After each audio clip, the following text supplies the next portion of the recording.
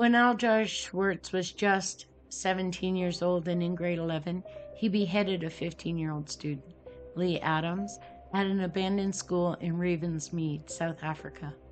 Swartz lured the younger boy there with a promise they would smoke daga or marijuana together. It was October 2013.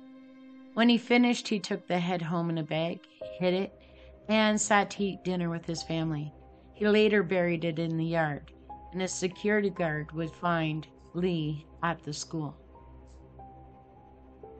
At one point, Swartz tried to shift blame away from himself. He said it was his friends who chose the victim and the location of the killing. Then he claimed to be a follower of Satan at the time of the murder. His lawyer then requested the court allow Swartz to be exorcised to prove that the devil made him do it. He would claim all manner of things for that hearing. He was Abaddon, the angel of death. He was promoted to chief of demons, and, quote, I was just a vessel, and they, the demons, used me to commit a crime, end quote. Believe it or not, the exorcism would happen, though it appears it was never court sanctioned. Pastor testified at sentencing and not at trial that Swartz was under the influence of demons when he did what he did. He claimed to have exorcised the demons and that after the exorcism, Swartz became a devout Christian. The court found the priest was neither objective nor reliable. The murder has been extremely difficult for Lee's family. It didn't help Swartz's shenanigans. His lack of any sign of remorse, his lack of compassion, Psychiatrists diagnosed a psychopathic personality and put Swartz at very high risk of reoffending.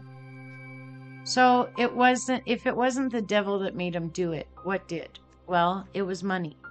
He planned to sell the child's head to a Sangoma for 5,000 rand. He said he'd heard that in some places people with albinism were killed for body parts, which is a gruesome and terrible truth. A Sangoma practices an ancient philosophy based on beliefs in ancestral spirits called Ngoma. They're more than shamans, they're also priests and prophets. Though this was Swartz's plan, he was unable to find any Sangoma willing to buy such a thing, for obvious reasons. Normally, a client approaches a Sangoma and explains whatever problem or issue they want help with. The Sangoma then decides what material might be needed. Sometimes this involves what has become known in parts of Africa as muti murder. Even where a muti murder is committed, it would not be done in the fashion that Swartz committed his grisly and horrific crime. The court expert would say that even if Swartz had this plan, he committed the crime because, well, he's a psychopath and not because he was seeking any sort of help.